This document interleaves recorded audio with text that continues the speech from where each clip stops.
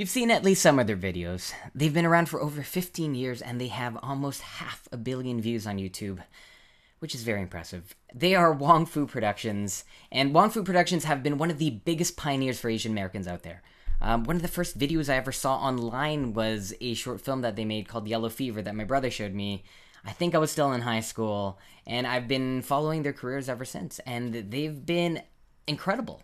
Um, they're trailblazers for us. They're one of the most prominent Asian American faces out there making Asian American content for Asian American audiences and mass audiences as well. Um, and I could not be happier that they exist and are continuing to go on strong.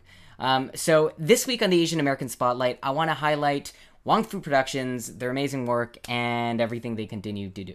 Um, so, they recently released this new series called Just Another Nice Guy. They posted the first episode two days ago, and or three three days ago, two days ago, on Wednesday. They posted the first episode on Wednesday, and I think this is a three parter.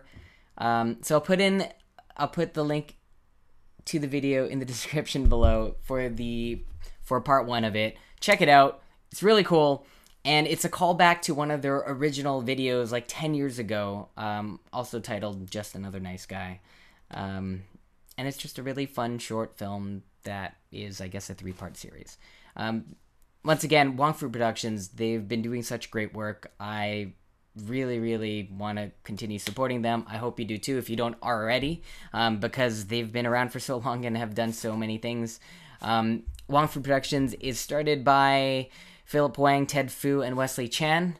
Um, so it just started off with three friends making videos, and it's turned into something incredible. Um, so yeah, they've done a couple of feature films already, um, a lot of series and short films on on their YouTube and on their Facebook.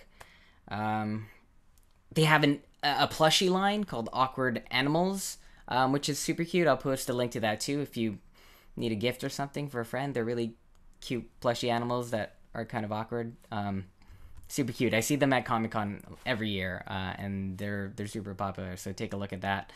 Um, and yeah, the, um, that's it. That's the Asian American Spotlight this week. It's on Wong Fu Productions.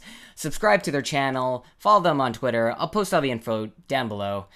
Um, for everyone else, this is the week of GISHWHES, Gishwizing, Gishing. This is the week of Gishing, and I am I have I've completed one and a half items. I don't know if I'm gonna be able to do more than that. It's been such a crazy week, and uh, yeah, if if you're in the middle of it, I hope it's going well. I hope you're not going insane. Remember to take a breath. It is just a game. It is fun. It is fun. It is fun, and we still love Misha by the end of it, right? Anyways, I'll see you all next week for the Asian American Spotlight. Hope everyone's doing well, and happy gishing. Happy Friday.